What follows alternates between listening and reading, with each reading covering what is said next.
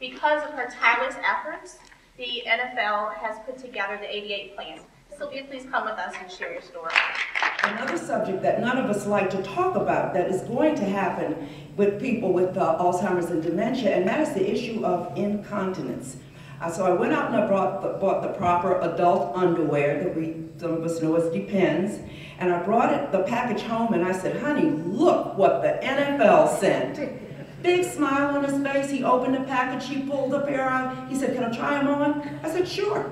He tried them on, he went over to the mirror, he patted his stomach front and back, and he looked at me and he said, hey, these are nice.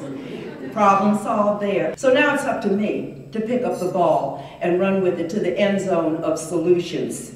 And I intend to carry out this mission with hopefully the ultimate goal being that we won't need the 88 plan anymore and that there will be a cure. Thank you so very much.